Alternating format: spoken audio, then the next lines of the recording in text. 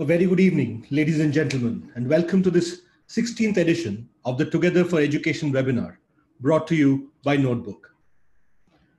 For over three months now, schools have been shut down because of this unprecedented coronavirus pandemic. We hope you and all your loved ones are safe. Now that we are slowly unlocking, it is even more important that you follow the safety precautions and maintain social distancing. When this lockdown started, we at Notebook decided to offer our platform for free and to help teachers understand online education better, to handle it better. We started this Together for Education webinar. What has evolved since has been most encouraging. The phenomenal support that we receive every day, with each webinar getting more than 300 to 400 participants, has been our inspiration. Today, we go back to our other inspiration, our favorite teachers. When Notebook started, all of us came from our corporate sector jobs to enter the world of education, inspired by our teachers. When we were in school or college, in whatever courses we pursued, our teachers elevated us. They not only taught us the scholastic bit of the subjects, but also imparted life skills. They taught us how to celebrate diversity. They taught us how to accept change. They taught us how to tide over difficult times. They taught us how to not be overjoyed by the good times. Various teachings came together in making us who we are, which I guess holds true for each and every one of us attending the session today. It is our great privilege to host a set of stellar panelists who are all extremely experienced educators themselves to have this discussion with us today. It is now our privilege to introduce to you your first speaker of the day. Mr. Philip Burrett retired as the deputy headmaster from the Doon School in Dehradun after 44 years of serving in education. He served the Doon School as housemaster, head of department, dean of student welfare, dean of activities, deputy headmaster, second master, and acting headmaster with great distinction. Mr. Burrett also carried out a visioning exercise for the Doon School in the year 2011 through an in-depth study of a number of British public schools and various schools in the US. Mr. Burrett qualified as a leadership trainer at Wellington College, UK in the year 2000. He is also an athlete, an adventurer, and a naturalist. It is our privilege to present to you Mr. Philip Burrett. Sir, over to you. Thank you very much, Shubhayu. I hope I'm audible. Loud and clear, sir. Yeah, and a, a very good evening to you, Achin, our esteemed panel, and the many um, lovely people who have tuned in this, uh, this evening. So um, this was a very easy one for me because I, I didn't really prepare for this talk because uh, when I look back, uh, there have been very few people who really touched my life in a monumental way. And so um, the person who really made a big difference was my housemaster when I was in school, way back in the 60s in Pune.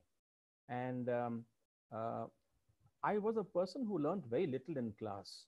And so most of what I know, the little of what I know, comes from either self-learning or from learnings outside the classrooms.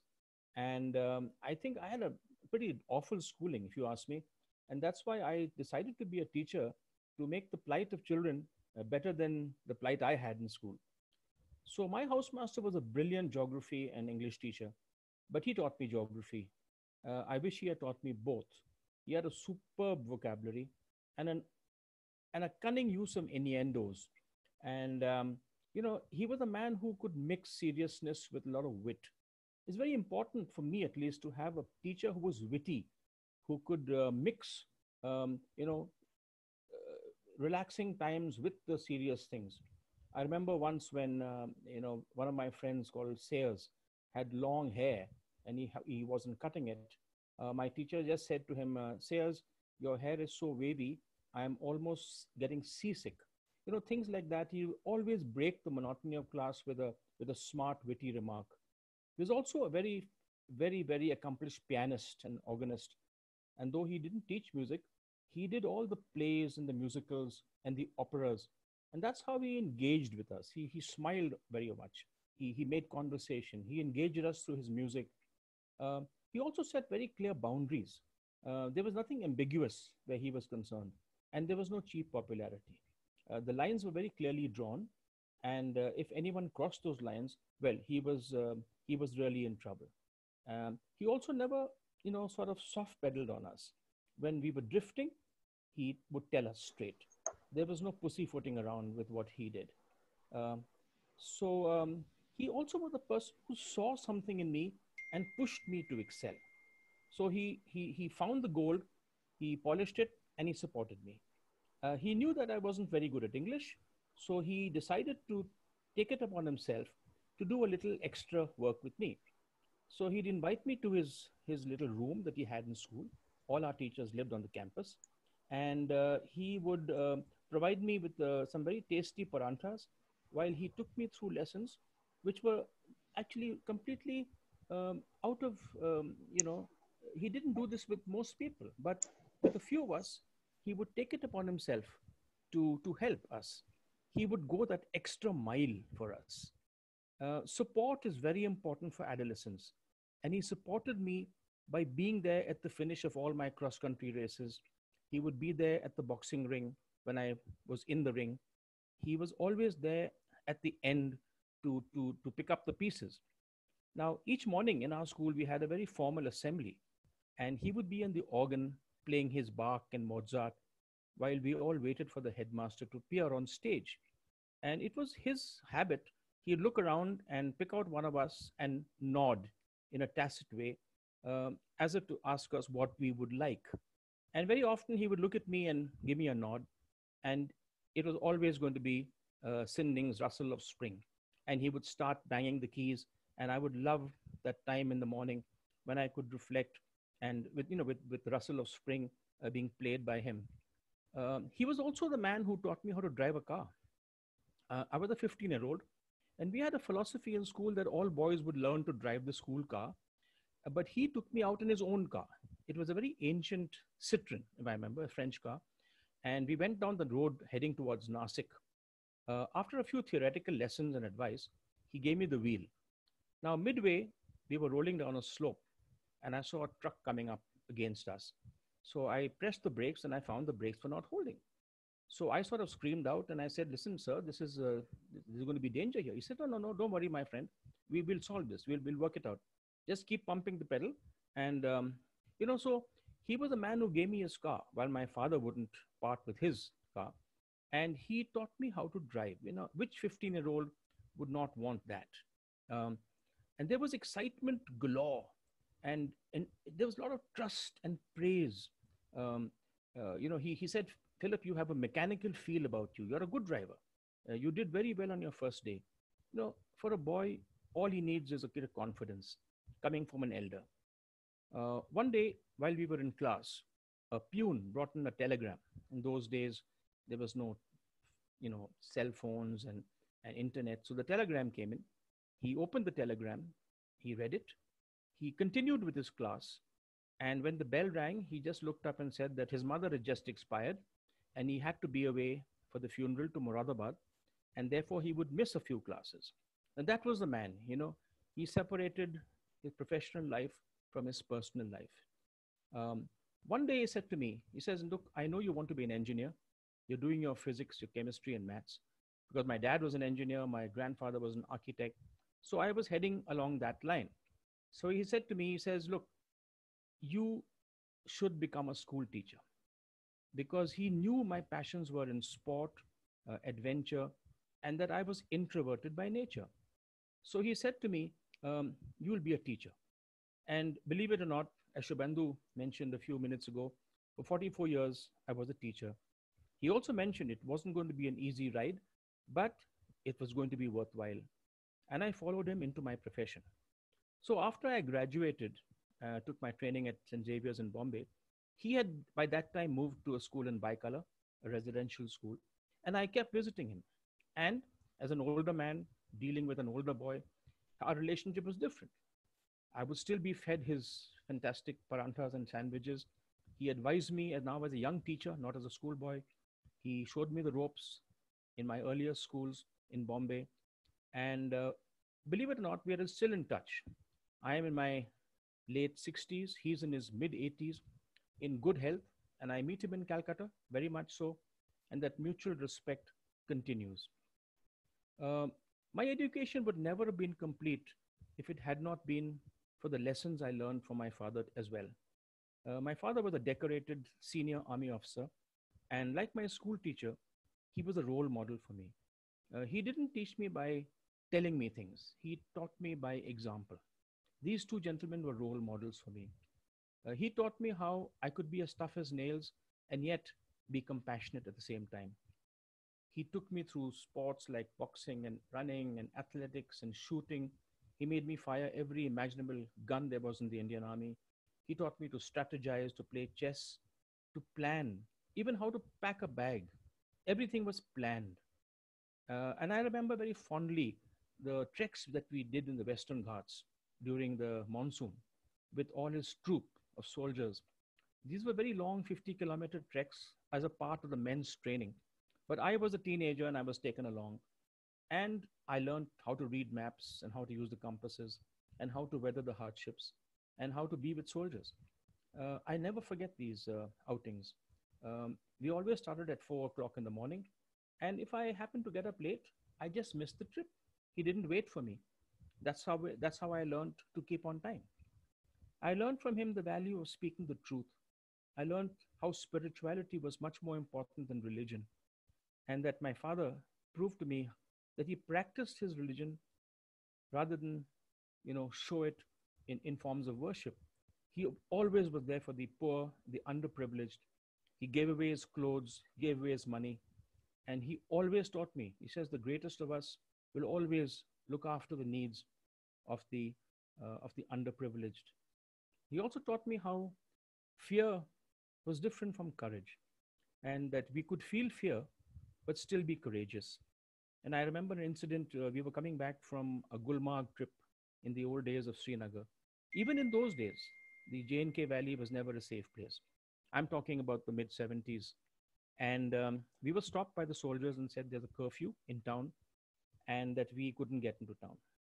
But my father, being who he was, he was in civilian clothes and he led the, infam- the entire family my mother, my grandmother, three sisters, and me. We went through the narrow, deserted streets of Srinagar and we avoided the soldiers and the police and we found our way to our hotel. At the end of the day, I said, Dad, I was very scared. He said, So was I, son. But um, there's a diff- you, there's, there's no point uh, avoiding fear. We feel our fear. He taught me how to be courageous.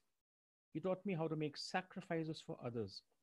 And uh, I think he was the worst dressed man in the army because he wanted to, you know, give his children uh, more than what he had. Um, he also lastly told me that, you know, we have a heart and we have a head, and we need to use both of these. Um, problems occur when we use our heart, when we need to use our head, and when we use our head, when we need to use our heart. Uh, my father is no more. He passed on about five years ago. But the important thing is that the lessons he taught me in life will never go. And I think that is the hallmark of a, of a classically, you know, classic teacher. He doesn't have to be around.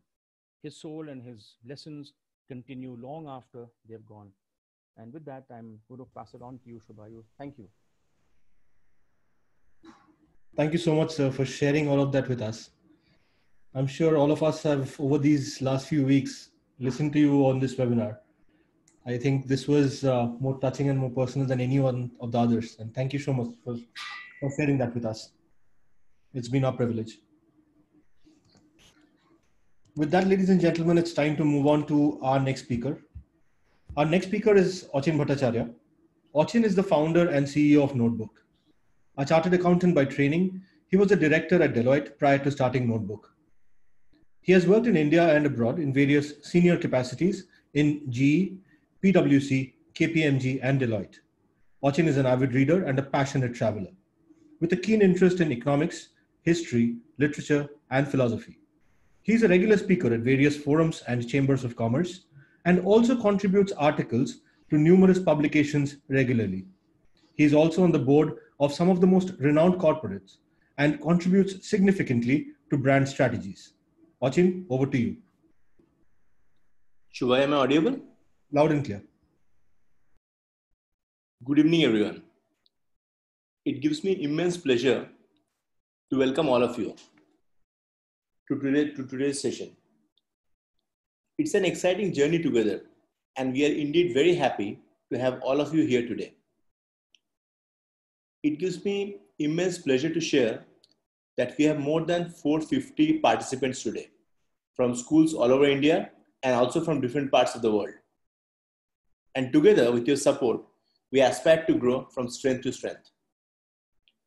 Also, I'm very excited to welcome all our distinguished panelists today who will enlighten us further with their thoughts. Now, all of us, we are indeed indebted to our teachers. Today, I'm sure that each one of us are indebted to our teachers who shaped our future by mentoring us under their wings. Thus, even a lifetime is not enough to repay their love, care, compassion, and hard work. We all needed help, sometimes or the other, and qualities like forgiveness, a touch of compassion, a pat on the back when something has gone wrong makes a student feel very special and motivates him or her to look forward to a new tomorrow. Now, a small trip down the memory lane. This discussion now takes me back to my school days, and I see myself going to school in a small mining town. The school had a huge playground, and growing up in the 90s, we were a bunch of happy go lucky kids who were so happy with small things in life.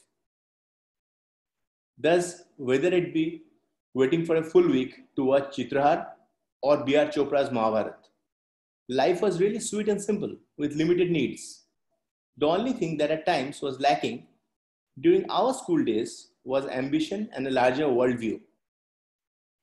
I studied in a great school and I'm forever indebted to my teachers for igniting the passion for excellence in me and giving me the confidence to hold my own against anybody anywhere. Also, the fact that I can actually dream big is something that my teachers have taught me, and I'm sure that it is the same with each one of us here. Now, I'll take a few minutes to discuss about two teachers and why they were so special. First was my economics teacher in school. He joined our school when I was in class 8 and started teaching economics. I was surprised with his storytelling abilities and how he could give multiple examples on the same topic and won't give up till such time everyone in the class was on the same page. Also, what separated him from everyone else was his positivity, infectious positivity, tremendous positivity. When he started teaching mathematics in class 11, all our scores improved drastically as he would explain concepts for hours and then make us solve a set of problems for each concept. In a class of 60, he could exactly look at students and identify those who need more help. He taught me a systematic yet passionate and conceptual approach to studies. And I've applied that formula at all levels, from college to university to my chartered accountancy days. I have always preferred self study using material from different sources and following Sir's methodology of identifying and building on concepts. Now, my greatest teacher in life has been my grandfather.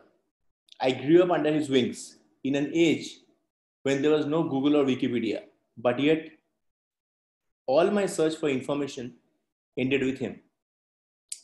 He was a very successful engineer who worked on some of the biggest projects in the nation, but gave it up all one day to come back and teach kids free of cost in his hometown.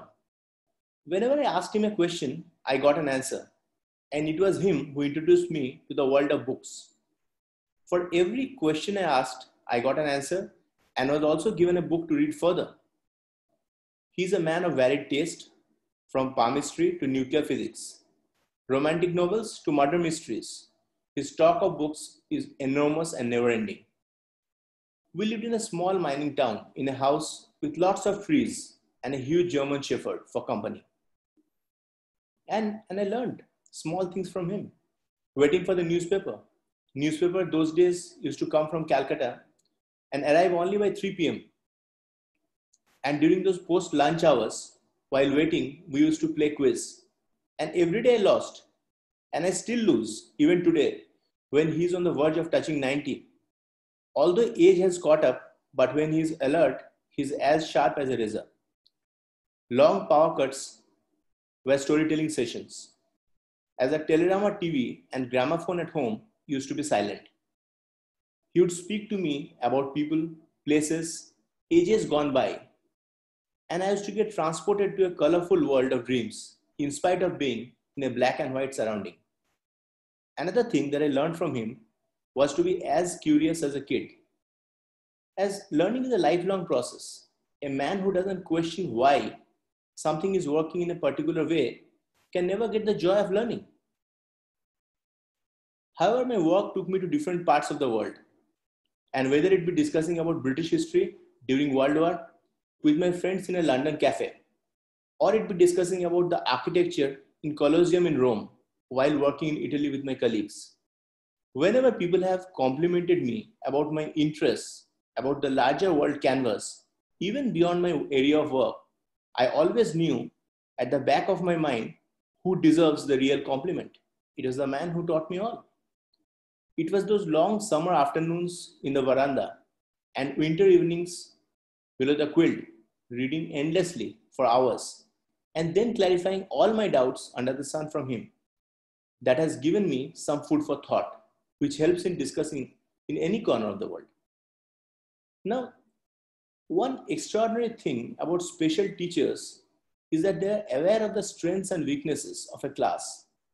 They're teaching to the entire class and not a bunch of students who are already performing well. So, what is it that we look for in a teacher, right? Lectures are designed to cater to all kinds of students. While it's important to cover all easy and hard topics, it is also necessary to classify the topics into basic facts and advanced discussions and communicate with students accordingly, accordingly on a needed basis. Thus, bringing backbenchers forward is something that a great teacher does effortlessly. No one should exist in silos in a classroom. Very often, islands of excellence and rebellious pocket of students who do not believe in the importance of what is being taught coexist. The role of a great teacher is to connect the two. Now, a great teacher also helps you go beyond your books. Great teachers are very good storytellers. They can help their students visualize and build dreams. The two, the two men that are named here, they're, they're both great storytellers. And in fact, this is the principle that we kept in mind even while building notebook. Student feels connected to the topic and becomes an active participant in the session if it's engaging enough. Thus, creating an inclusive atmosphere really sets a teacher apart from others. Once a student feels connected and gets interested in a particular topic, the rest will naturally follow. Now, another very important aspect I, be, I feel is building trust. Any relationship in life is built on trust. Thus, it is very important for a great teacher to build an element of trust with his or her students.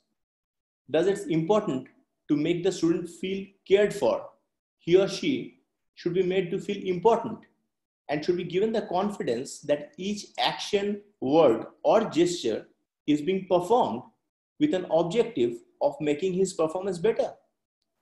Unless the student trusts the fairness of a teacher, you know, the student trusts his evaluation and his genuine intent of wanting the best for him, he won't take any serious corrective action based on his feedback. Another very important aspect is being a ray of hope, supporting the child at times in front of his parents who, who may be worried about his pranks. So, compassion is very important. Thus, every discussion or feedback, howsoever critical in nature, should be constructive in essence. I remember, now, this is a very interesting story. I do remember one of my professors who caught me while trying to quietly slip out of the class during my college days. He took me aside for a chat and spent hours trying to understand my world in terms of my interests on various topics, including literature, history, world cinema, and subsequently also lent me some fantastic books to read.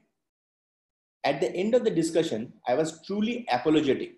And when I expressed myself, all he told me was how his colleague, the professor whose class I had bunked, was very fond of me and had praised my performance while discussing with him.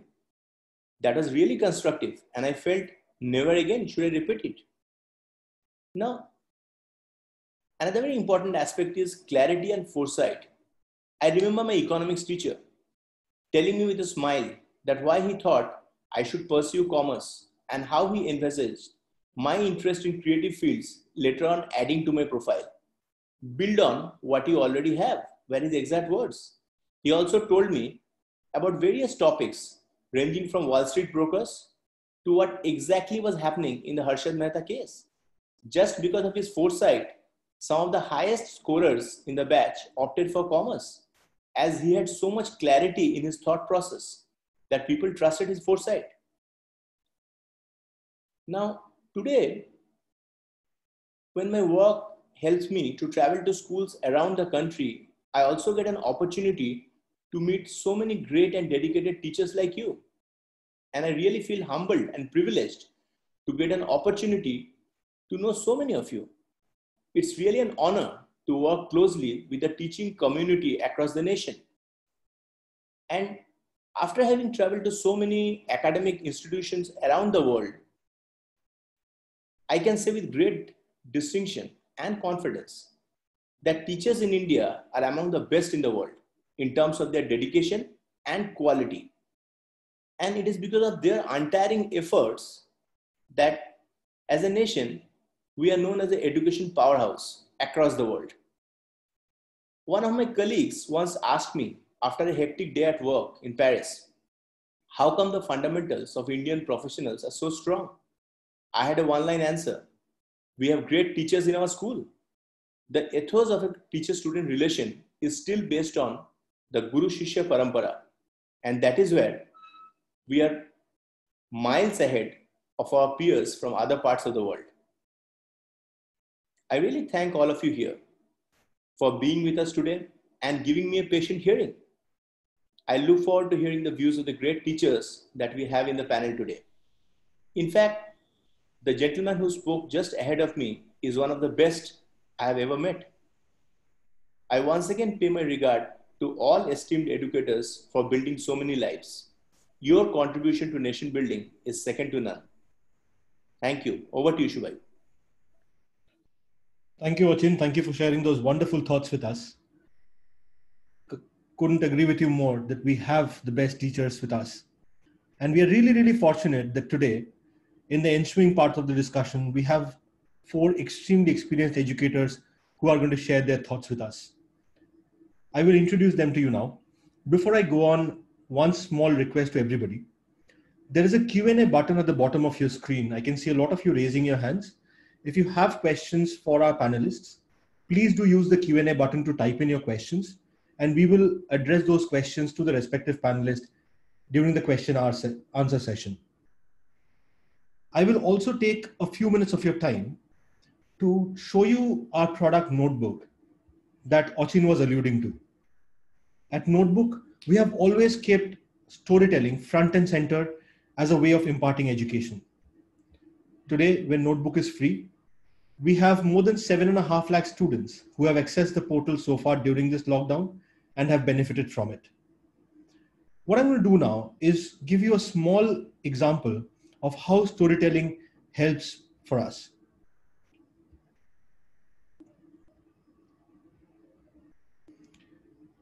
Like every other topic, every topic gets short, crisp videos, which use storytelling as the primary Hello, method and of welcome back to Notebook. Today we will start a new chapter, Money and Credit. Let us begin with a story. A ship sank and five of its passengers made it to a lonely island.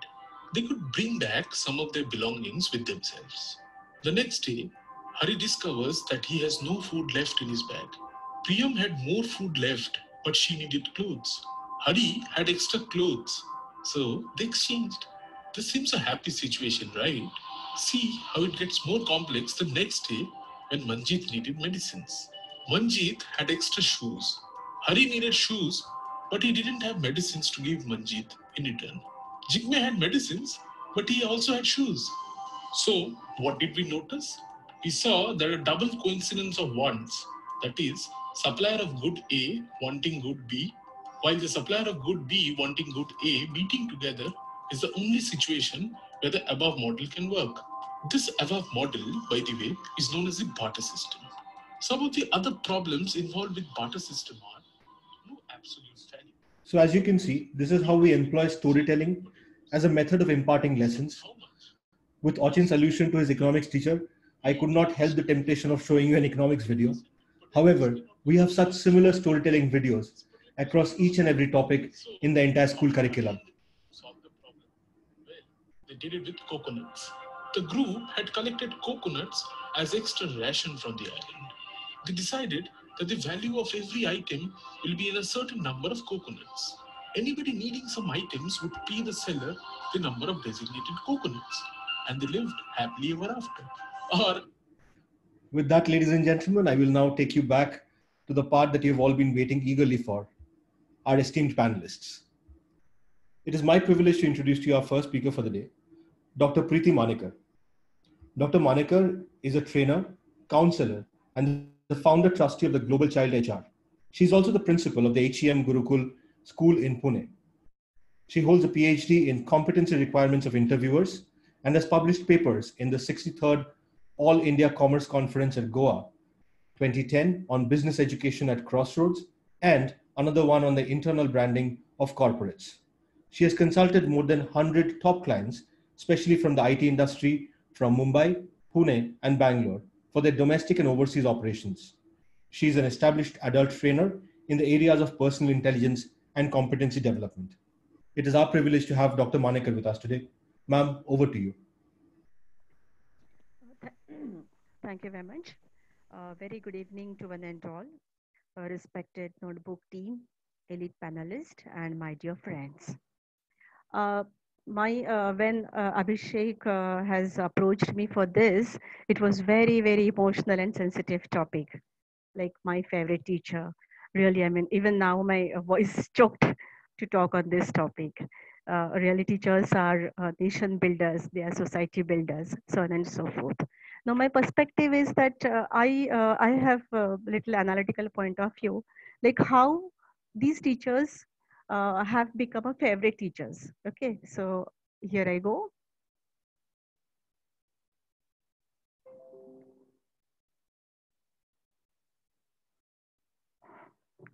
Uh, Ma'am, there's a share screen on the bottom of your panel. sorry, uh, what you said? There will be a share screen on the bottom of your panel if you wanted to share something. Yeah, I would like to share my uh, PowerPoint. Yes. Are you able to see this? No, I'm not as yet. Not it is. Actually, I'm not getting that button. It was there, in fact. Uh,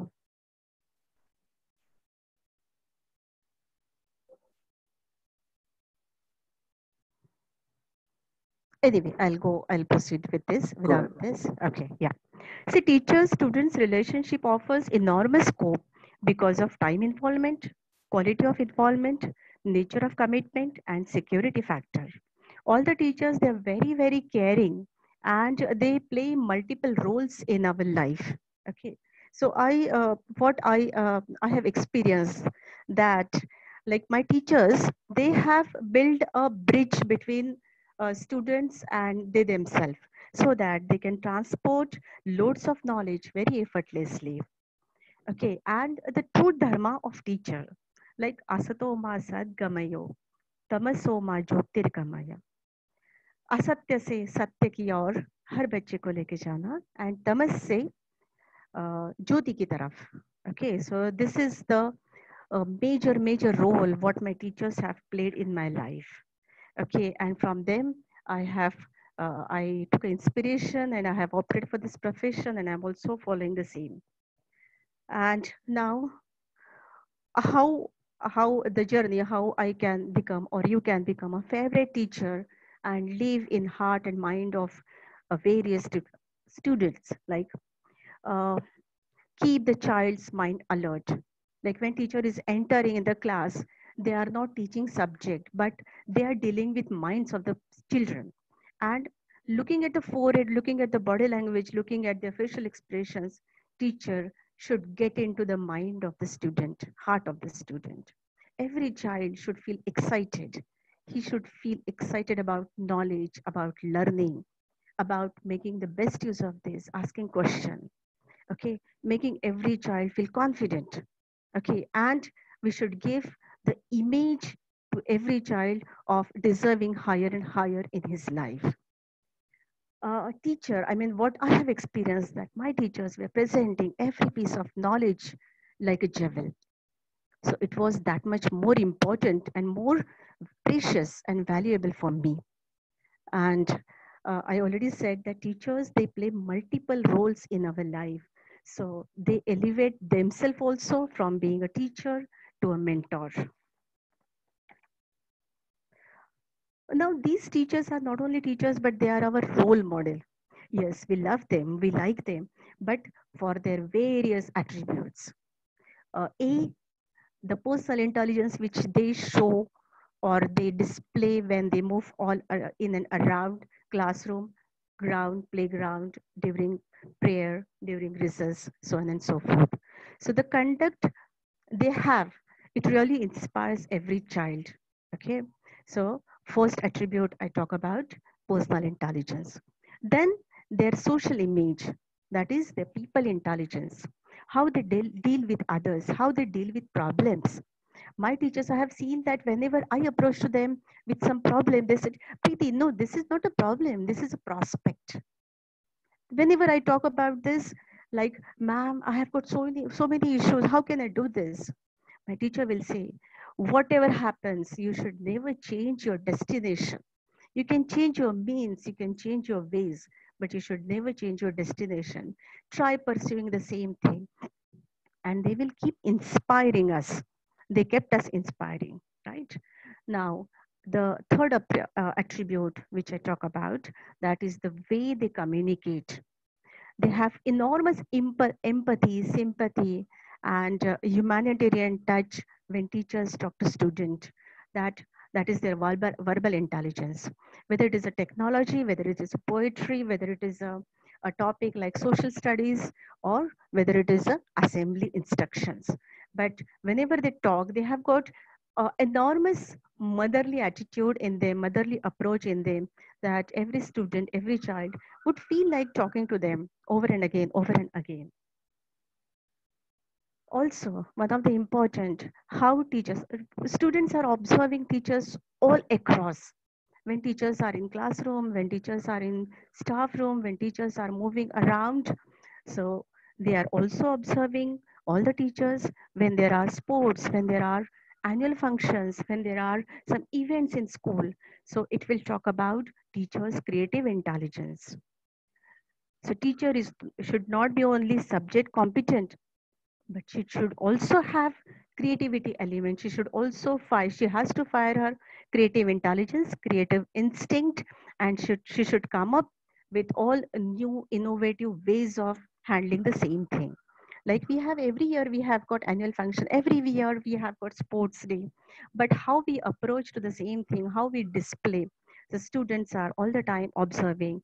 And this is what i have observed in my mentor. Now today i'm calling him mentor because uh, he was my teacher, but he really made me what I am. Now, when teachers are displaying so many intelligences, personal intelligence, people intelligence, verbal intelligence, creative intelligence, their subject competency, they are also not stopping or teaching students about four major aspects. That is their intelligence quotient, their emotional quotient, their social quotient and their spiritual quotient. Now they have solution for every problem and solution for every child. Whatever problem, whether it, the problem is coming from his personal sphere or family sphere or maybe his social sphere, but they have a solution practically for each and every solution. She is like my teachers, they have not only played a role of a teacher, but they have played a role of a mother teacher. Whatever I could not express to my parents, probably I have expressed it in my life to my teacher, class teacher especially. They have played a role of a mentor in my life. They have played a role of a counselor. Whenever there was a career decision making, or whenever there was any selection, select participation in events and sports, the teachers have played a counselor role at times they have also played a role of a friend and a problem solver so i mean practically they were my role model and I have walked on a charted path, what they have already walked. Teacher is a great, great image, what image she is carrying about herself. Much more than that, others are carrying her image in every student's mind. When teacher is teaching, she is not only uh, translating subject, but she is translating her love. She is expecting creativity. She is expecting change happening right in front of her eyes. Today she taught you and tomorrow she's expecting you to do better in all the fronts uh, of your life. Okay, now in this COVID-19, what we are, I have certain uh, suggestions to make or I have certain plan which I have given to my teachers as well as I'm following it personally.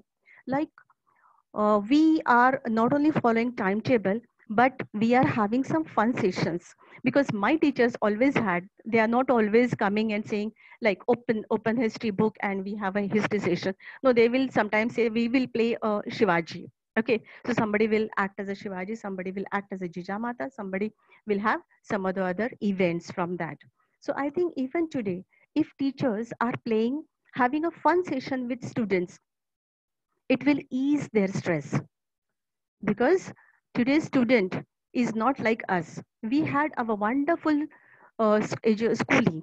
We have got all sweet memories, but today's students, they have got a lot of competitive pressure. They don't have that family life which they have we have enjoyed. They have nuclear family. So they have school as a, a institution most organized institution where they can find their life. Okay? So this having fun session is an excellent idea i feel. We are doing that. And I feel rather than having a teacher and student, we should have love bonds.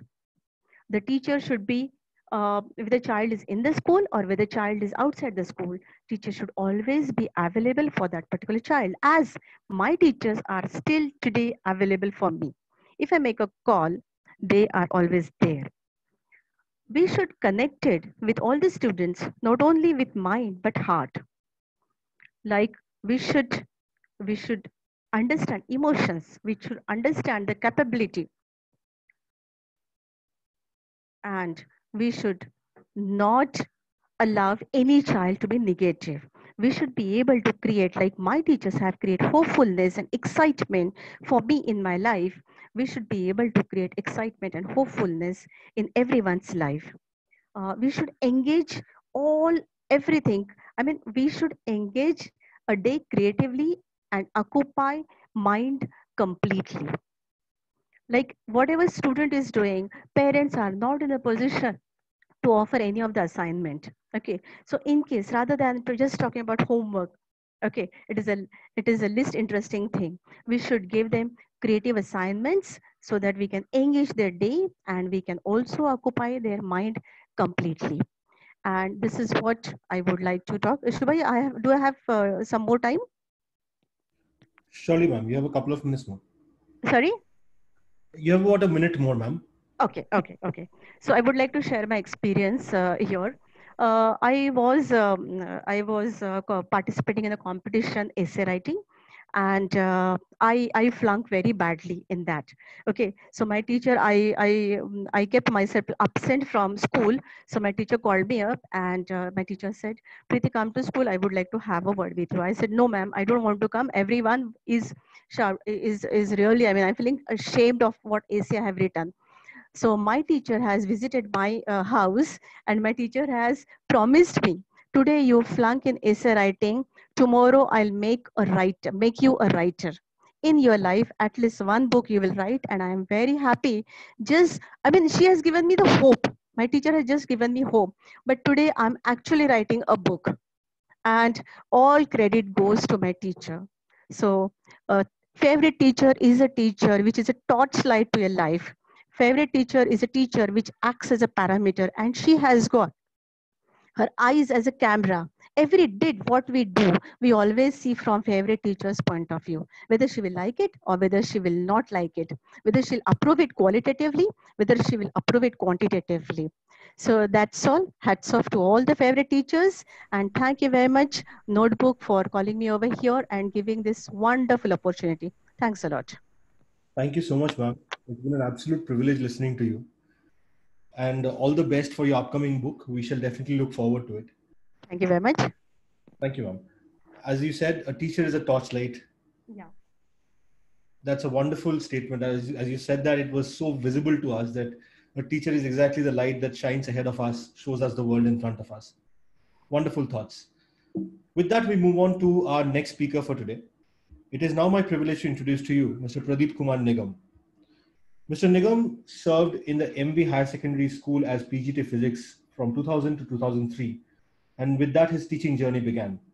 Since then, he has worked as a senior physics teacher in DAV Public School, as HOD Physics in Delhi Public School, the Balco project, headmaster in the Delhi Public School, Gaya, principal in the DAV Public School, Marwahi District, Bilaspur, and currently he is the principal of the Jay Jyoti School, JP Rewa Cement Project School.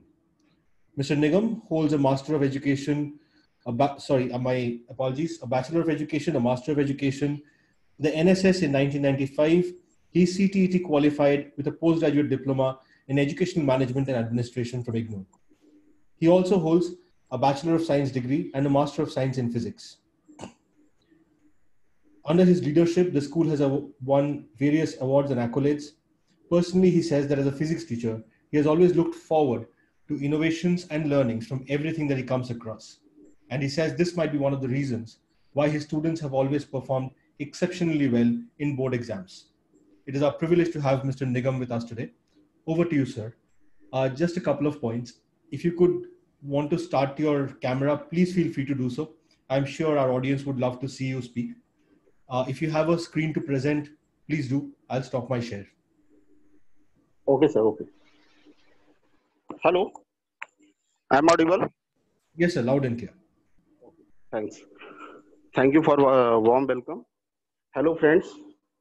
I hope you are safe and happy at home. The pandemic has disrupted education across the world and its impact would be far reaching. We need to overcome the challenges of informal, un untrusted, and home influenced learning environment. I think present today's topic, my favorite teacher is very challenging in present context. We need to redefine the traits of favorite teacher, keeping pandemic in mind. Since present situation developed a gap between physical learning platform, that is the conventional method, and digital learning platform, which is the e-learning, that's a new approach. Though most of the school have smart boards, but uh, at sudden we uh, we have to uh, we all are thrown into the uh, digital platform. Uh, so we need to think for a new paradigm which enforces us agility versus specialization. We need a skill-based teacher. In prevailing situation, we require teachers, those who are digitally literate and can take responsibility to overcome real world challenges teacher should be well versed with 21st century skills and also be re-equip himself for new mode of teaching, remote or online teaching, and how to optimize learning. I would like to thank Notebook for providing free online materials to bridge the gap during lockdown and also help the teachers to get groomed digitally. I think to be a valued teacher, one should have knowledge of design for learning teachers should use the practice-based experience to inform their decisions, a very rapid change to a new mode of learning and teaching, dynamic modes of students' engagement, upskilling themselves, managing parental expectation.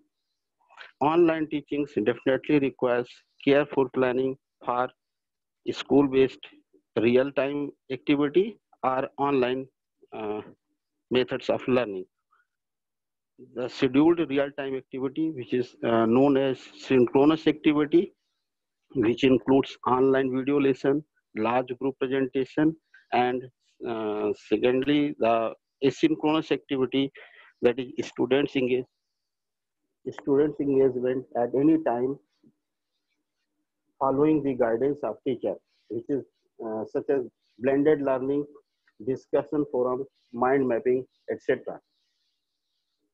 I would like to discuss on uh, evidence of learning cycle. I thought that um, the entire learning process is based on three uh, components. One is why, why component. Second is how component. And third is outcome component.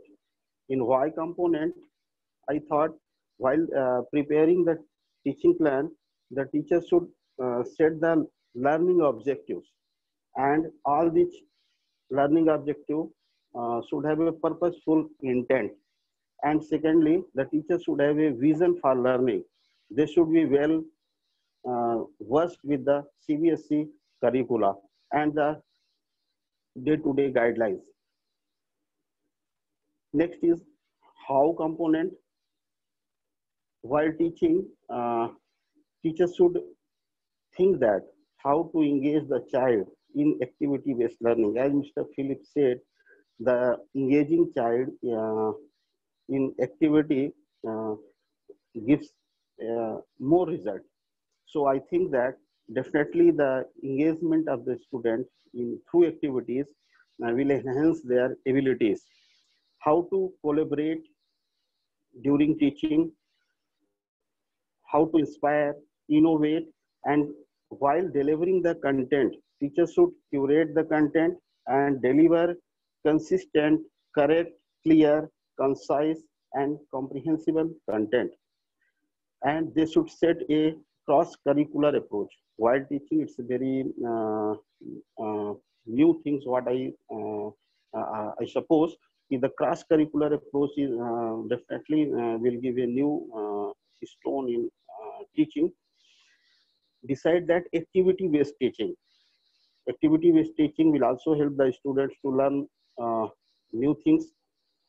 And finally, it's the outcome component. That is, in outcome component, we should give the reflection on learning and teacher to monitor learning practices. Teacher to learn, uh, monitor learning practices. While designing the learning outcome, uh, articulating learning outcome for the student is part of good teaching. Teachers should focus on uh, emphasis, uh, should focus on the course, how best to teach. Uh, teachers should also focus on um, how best to assess learning. And, and uh, they should think, communicate uh, expectations to students. That is desirable. And learning outcomes need to be smart as the CBSE decided in the, that uh, uh, various uh, approaches, the um, learning outcome should be SMART. Its acronym S for specific, M for measurable, A for agreed upon, R for realistic, and T for time frame. I think if a teacher follow all these strategies, certainly his teaching will be pioneering and he will be valued and will be an effective and favorite teacher. Thank you. Over to you, Suhail. Hello. Hello. Huh. Over to you. Thank you, sir. Thank you so much for sharing your thoughts about digital education with us. Thank and you, sir. It's even more important that a teacher embodies those qualities of a perfect teacher to get through to their students when the face time is limited and Certainly, they're online medium. Thank you. Thank you so much for your views. Okay. Thank you, sir.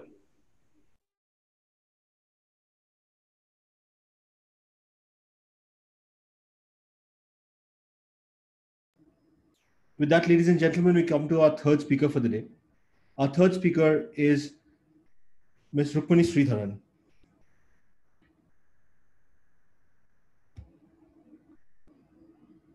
Madam Shreedharan is the principal of the PSBB Millennium School at OMR Chennai.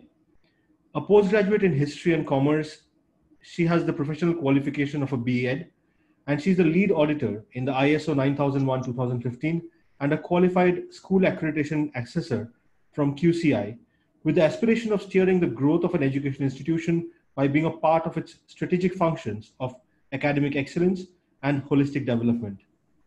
She has an experience of 30 years in handling children of different age groups with varied skills and backgrounds at senior, middle, and lower levels. She has held administrative posts as well and has been in the school since 2007 she was given the responsibility of becoming the vice principal in the year 2013 and became the principal in 2017. Her main interests are reading books, gardening, and singing bhajans. And she says that for her, the most important thing is to be always a passionate teacher. It is our privilege to have ma'am with us today. Ma'am, if you would like to start your camera and start with your presentation. Shri Guru Bhyo Namaha. Salutations to all my gurus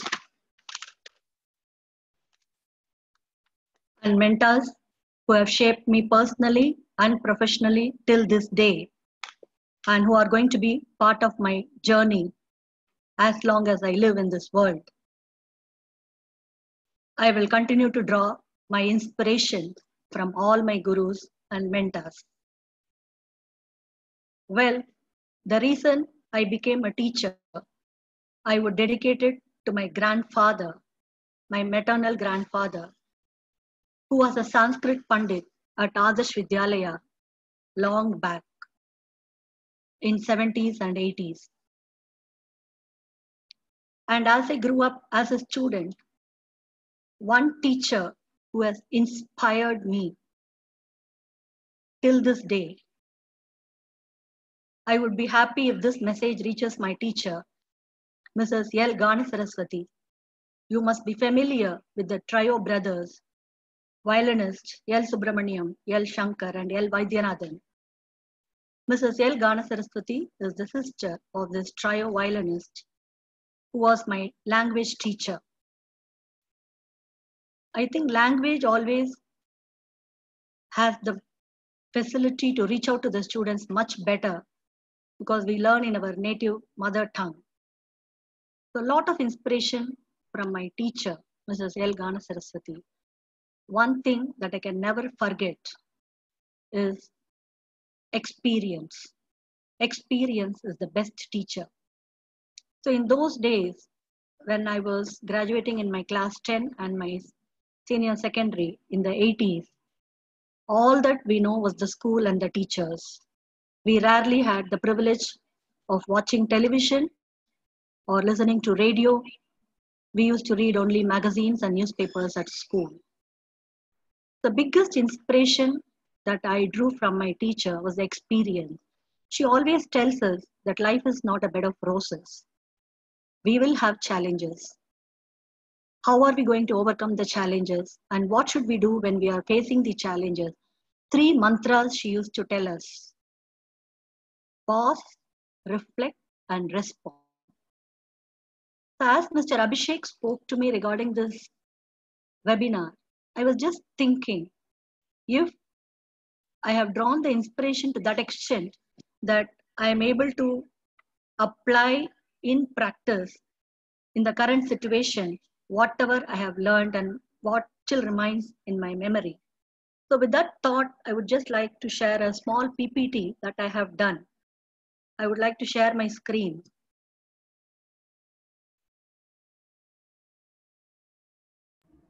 Ma'am, can you share your screen? Yeah.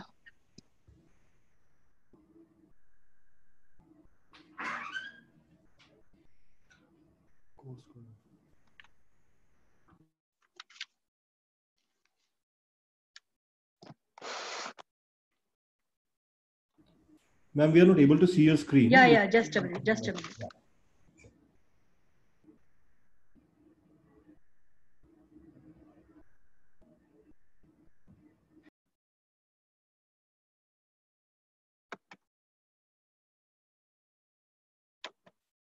Are you able to see Mr. Shubhayu? Uh, not yet, ma'am.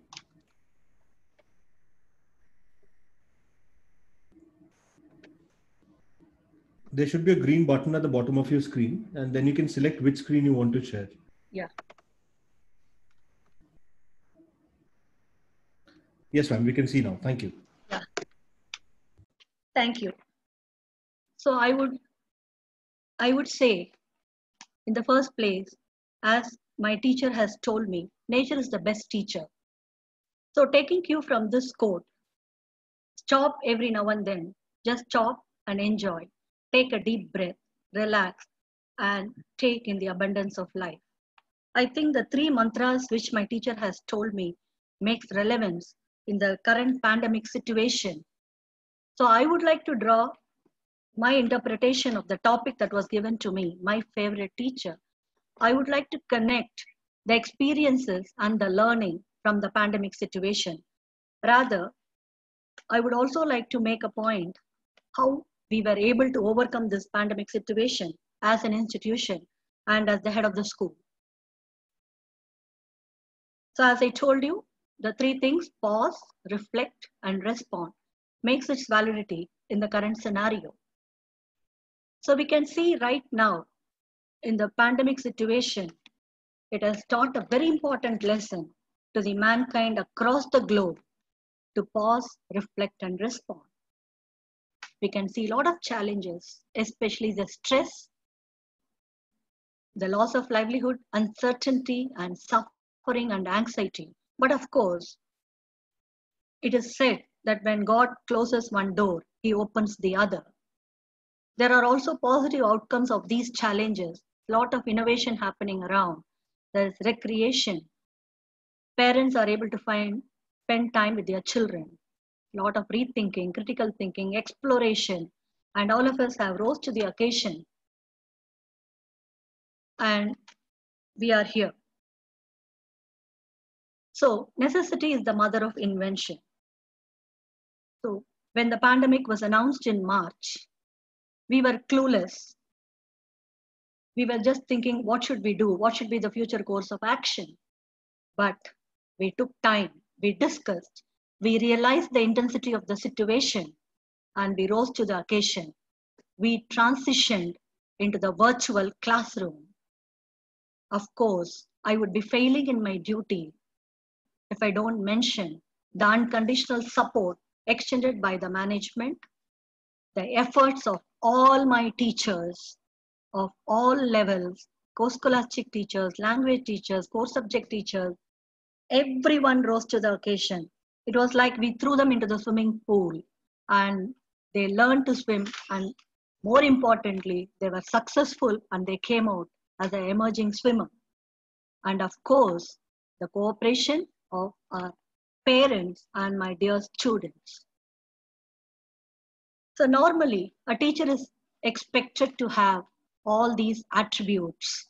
It is very common for all of us to imagine, to believe, to think that the teachers will have all these attributes and more so in the current scenario, being empathetic, humane, and more importantly, adaptive.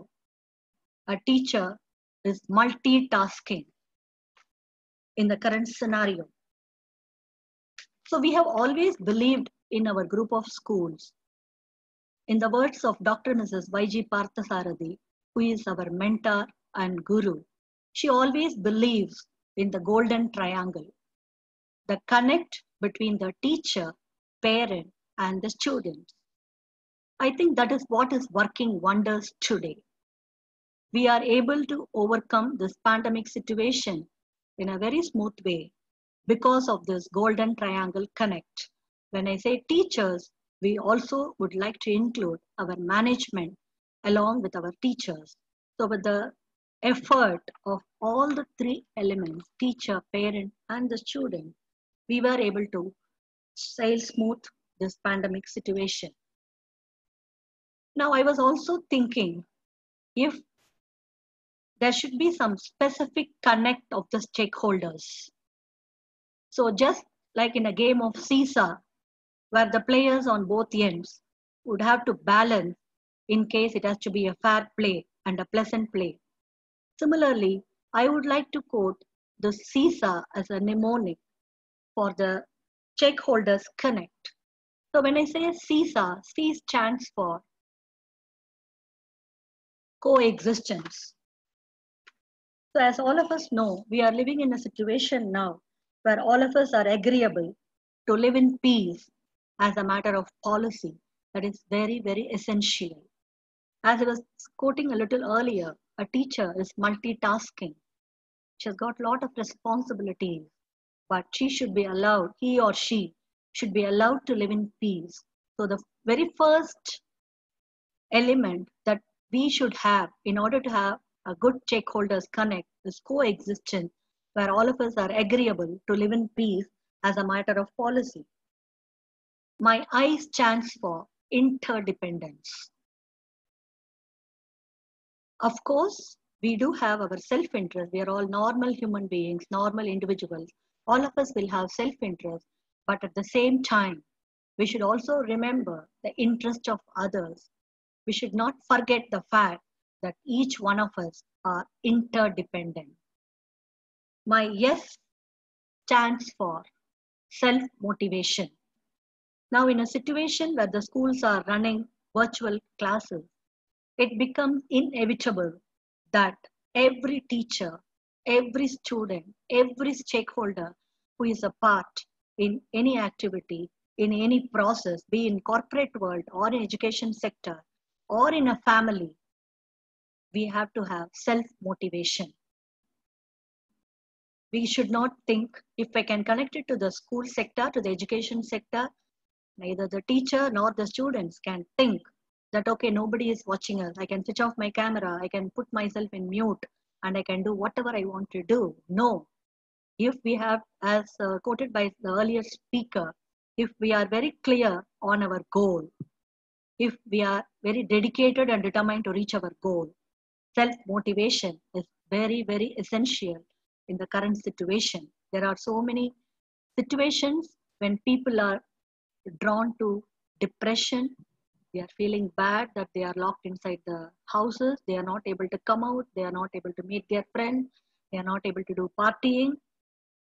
But as students, again, if I'm going to connect it to the school sector, to the education field, I think the self motivation is very, very essential to all the stakeholders. And last but not the least, it is the accountability, the willingness to accept responsibility for one's own action. So, with this, if we are able to connect with these elements of coexistence, interdependence, self motivation, and accountability, I think it is sure that we are going to succeed. There is no doubt in this. So I, I was just thinking if I look back, the journey that we have had in the past three months as an institution and as the principal of the school and as an individual, even in my family friend, I think the three mantras that my teacher has told us way back in 1980s and 1975, it holds good even in the current scenario that we have to pause, we have to reflect, and we have to respond. And if we are able to do that, I think nothing is impossible. We can surely achieve our goal. So I'm very happy in a way that whatever experiences, whatever the knowledge, whatever the life skills, whatever the good thoughts that I gained from my teachers, many teachers, even in my professional life, I have had many mentors in my 30 years of journey. So we are able to apply all this in practice and we are making every effort to live in peace and to be of helpfulness to the others, to be of some service to the others. And we would like to continue our journey. So my favorite teacher through Mrs. L. Saraswati and my grandfather, Mr. Srinivasachari, I would like to conclude saying that experience is the best teacher that, that can help one to cope up with challenges. Thank you, Shubhayu. Thank you so much, ma'am. Thank you for those wonderful thoughts and that absolutely brilliant presentation. That CISA framework that you have just named, I'm sure will help a lot of us as we move forward. Thank you so much. Thank you, Mr. Shubhayu. With that, ladies and gentlemen, it is now time to introduce our next speaker to you. It is our privilege to introduce to you Mrs. Shailja Saxena. Mr. Saxena is at present principal at the Mount Litera Zee School in Bhaniyawala, Dehradun. So we started with Mr. Burrett from Dehradun. We have gone around Pune, Rewa, Chennai, and now we are back at Dehradun after Kolkata. She has had an experience teaching for the last 32 years in various reputed schools in Dehradun, and to name a few like Summer Valley and the Aryan School, as head of the Department for Biology and Environmental Sciences. She was also a faculty member at the University of Technology and Management in Shillong to take up environmental science for BTech and BBA. She has co-authored a book, Developmental Biology for BSc, published in 2014, and has been awarded by the Meghalaya state for her paper on greening Meghalaya on Environment Day in 2016. She holds an MSc in zoology from Allahabad University, and many of her students are now serving as doctors across the country. It is our privilege to have you, have you with us today, ma'am. If you would want to start your camera.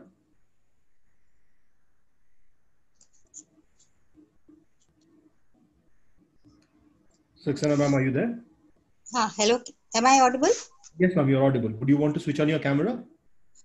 Uh, I'm only on audio, All not right. video. All right.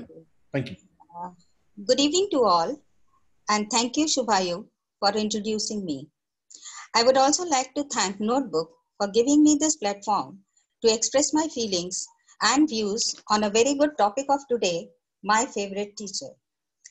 If I look back in time and count among my memories as a student, I find all my teachers were praiseworthy, but still, there is a teacher who is very close to my heart, and that is Mrs. Kamla Verma, my biology teacher. Before I talk about her, I would like to discuss and split today's topic into two following aspects. First is as a student, looking up to my favorite teacher, and second, to analyze why she is my favorite teacher. Let me talk about the first aspect. I have been fortunate enough for having been taught by some good science teachers all throughout my education from middle school to my MSc years. It was because of them I could develop deep interest in science. I'm talking of the years 1960s when there were no external support for any study material as it is now available in the 21st century. I remember for all of us as students, there were only prescribed textbooks and the diagrams printed in it to felicitate the understanding of the various concepts. Therefore, teachers had an added responsibility to make sure that students were able to comprehend complex scientific concepts which were explained in theory only in the textbooks. Hence, concepts like friction, atmospheric pressure, seed germination, vegetative propagation, condensation, and so on and so forth had to be related to our daily life by performing simple experiments in the class. Frankly speaking, I used to be amazed that my teacher knows everything and is the best. Mrs. Verma's capability to teach theory as well as her ability to draw diagrams was astonishing. She never asked us to copy the printed diagrams given in the textbook. She would draw a part of the diagram on the board and then turn towards the class and made us draw the part of the diagram which was on the board in our notebooks. In this manner, she would complete the diagram in parts, making it easier for us to learn to draw a complex diagram. One interesting incident, which I remember and would like to share with you all is when, for the first time, we had to draw a diagram of an animal cell in my biology class. To show the cytoplasm in a cell, she made small pin dots with the chalk on the board and asked us to follow her by making similar pin dots in our notebook with a pencil. Interestingly, the whole classroom was filled with a rhythmic tuck tuck sound which we enjoyed a lot. And believe me, I practice this every year with the new students who would be making the cell diagram for the first time. And they still love the tuck tuck sound. Another quality of hers was that she would repeat her explanation n number of times until each student was satisfied without getting irritated. I must say she had a lot of patience. To be a good teacher, one has to develop good communication skills, which is a two-way process. It is to convey and to accept, that is, to listen to others. My teacher was able to transfer knowledge, maintain good interaction with the students, and also had good classroom management skills. She taught us with varied approaches to match the abilities and the capabilities of the student. She was simple, elegant, loving, and caring, and used to connect with the students emotionally as well. Moreover, she appreciated our work and made us feel special and wanted by involving us in various classroom activities. Coming to the second aspect, I would now tell you why Mrs. Verma was my favorite teacher. According to me, she had all the good qualities to be a good teacher. She had strong communication skills, was a great listener, and helped us to build our skills and confidence. Her engagement tactics kept us involved in the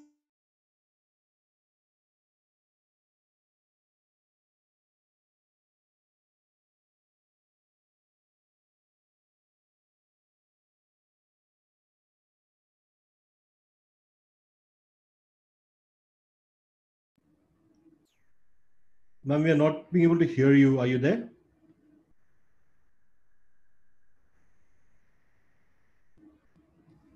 Unmute. Okay, hello. Hello, ma'am. I'm Hello. sorry. For a second there.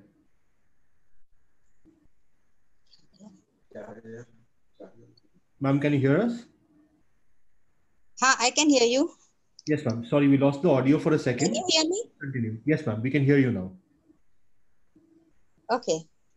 So, uh, should I start from? Ma'am, we I don't know when did you when we got lost. Huh? Hello.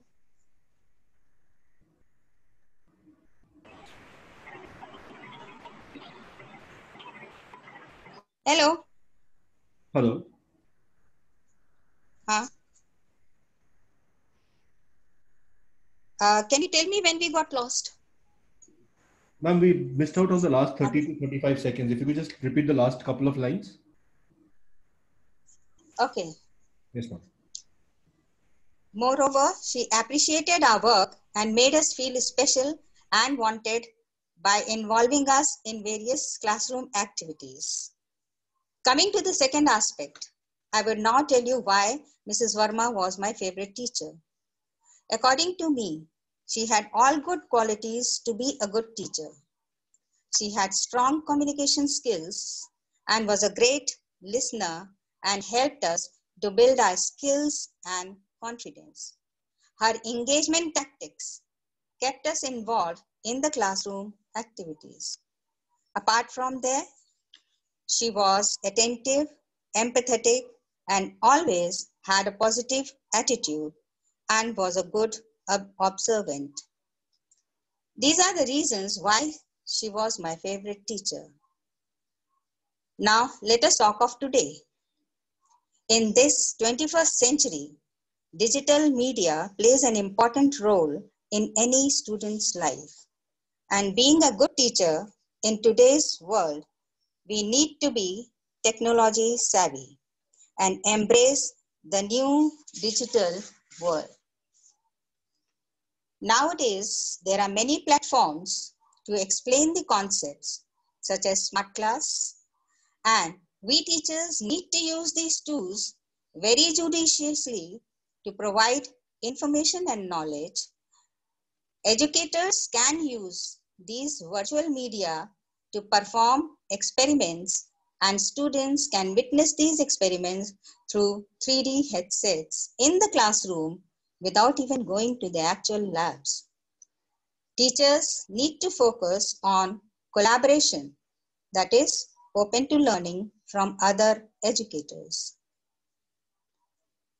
The need of the hour is adaptability, especially in this present pandemic scenario, where audio visuals and 3D images can come handy. Good teachers are lifelong learners. The teaching has shifted from a closed classroom to the digital media. And admiringly, many of us have learned and adopted to these new methods.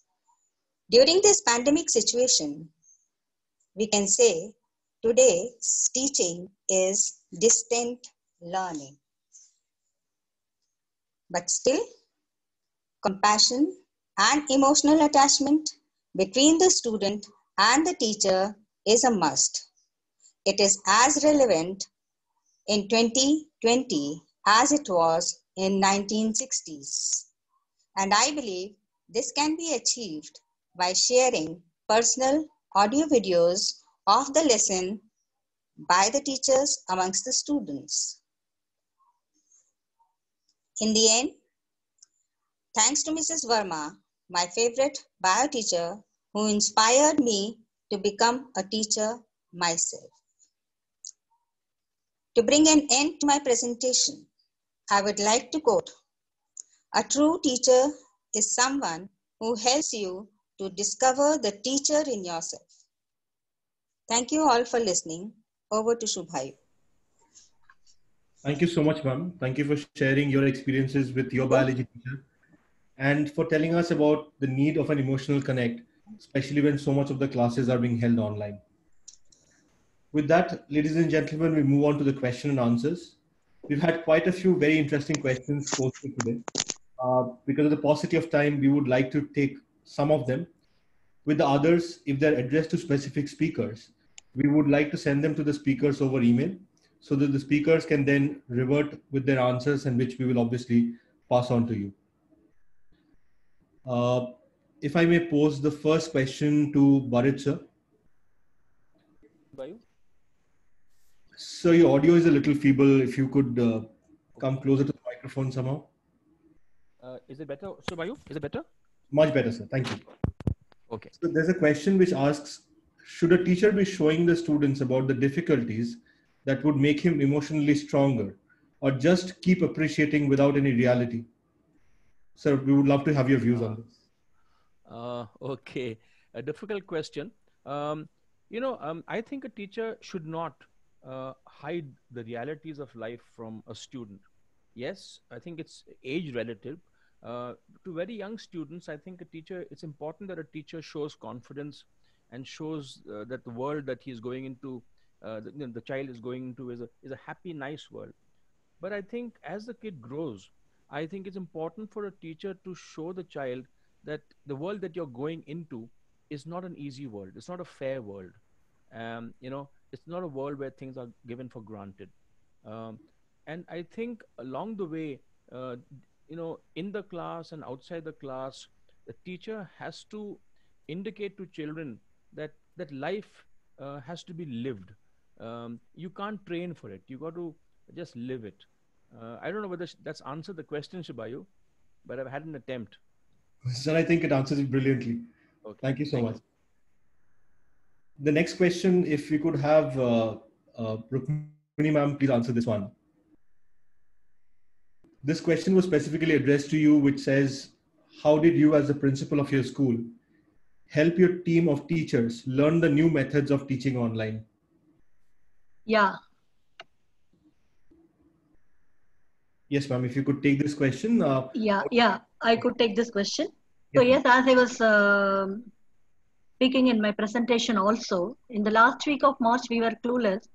We really did not know, did not know what to do. But then, we realized the intensity and we started working on it, we gave the responsibility to our HODs, the head of the departments of the various departments, and to our headmistress, who took on the job with our IT team, with our computer science teachers. They were trained for a week. Till then, we were just doing sending materials through online, through our platform. We have a FlipLearn portal exclusively for teaching and learning. So till the teachers were ready, we were sending the materials through that portal and we were training them. And we, among the group also, the uh, teachers who were well versed with technology, they helped each other. So exactly, you know, the words which I use, coexistence and interdependency, and the accountability factor really worked very well with my team of teachers, and they all rose to the occasion. I'm really very, very, very proud of my team of teachers in our school. Excellent team of teachers who will just make everything possible. For a few of you who are not able to make it, the others will not leave it. They will handhold them. We as a team, we handhold each other. We understand the difficulties of each other. We understand the pains of each other. We also understand the strengths of each other. And we make that strength, we make use of the strength and we handhold the others and we make it possible. This is how we, we have been able to do to overcome this pandemic situation.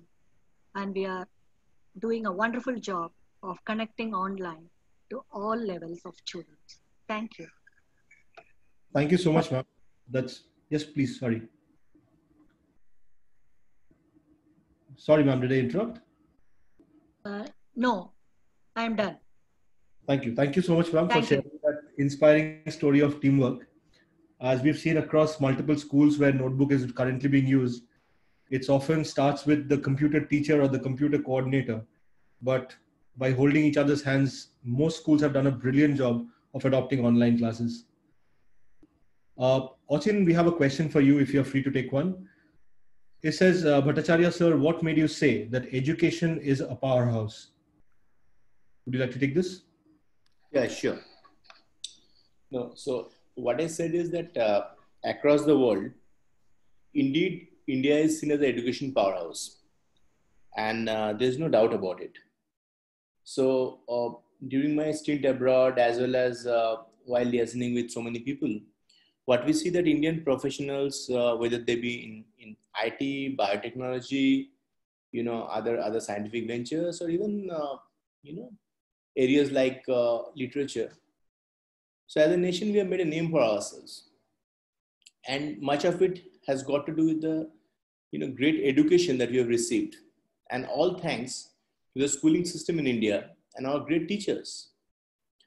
So what I meant is that uh, today, when we see Indians doing so well in every corner of the world, one thing that each one of us should never forget is behind each successful professional that we see in any arena, there are great teachers who have mentored them under their wings. So I hope Shubhayu that answers your question. Yes, it does, Achin. Thank you so much. Speaking of people in various countries, we are extremely happy to see Mr. Madden and uh, Mr. Baskarinas, both of whom have been speakers earlier, are principals of school in Saudi Arabia. Sirs, thank you so much for joining in. Unfortunately, due to the paucity of time, those are all the questions that we could take today. I'm sure some of you have already sent in follow, follow-up questions and we will try to get them answered over email. And with that, we come to the close of this session. Before I hand you over to Achin for the vote of thanks, a big thank you from all of us at Notebook to all the teachers out there, to all the meet Mr. Keatings out there, oh captain, my captain. Achin, if I could have you for the vote of thanks. Sure. So I think uh, we really had a great session, and uh, it was very nice to see so many senior educators coming and sharing their experience with regard to their favorite teachers. So this session was one of its kind, really unique. But it's a very touching and insightful deliberation on your part. Sir, indeed, you are one of the finest craftsmen in trade, and I'm sure each word that you said touched our hearts. Great deliberation. Dr. Manekar, great presentation, ma'am. Very nicely you have discussed the topic. Really enjoyed each word that you said. Mr. Nigam, yes, sir, I indeed agree with you that the pandemic has redefined the education landscape all over the world. Digital learning is a new normal. Also, vision for learning and activity based learning are important concepts that you highlighted. Rukmani Shreedharan ma'am, drawing inspiration and applying in current situation, very well summed up. I think that that captures the entire essence, very, very well summed up. Also, I really appreciate your response to the pandemic and how you navigated the choppy waters. I'm sure you have also inspired many of your peers from across the world who are also facing a similar situation and doing their best. Shailja Saxena ma'am, theory and practical application by drawing a complex diagram together. Great to hear how you have followed the footsteps of your great teacher. Appreciating work and making the students feel special, strong communication skills, being a great listener, and engaging tactics. These are indeed priceless qualities that we aspire for. So, also thank the audience for being with us here today, encouraging us in every session with your presence, suggestion, and feedback. We really feel humbled at Notebook. We look forward to our next session on Saturday, 5 p.m. in the evening. Really, I again thank all of you. Take care and goodbye. Thank you, Notebook team, for the fantastic opportunity. Thank you very much. Thank you very Thanks much. a lot. Thank you.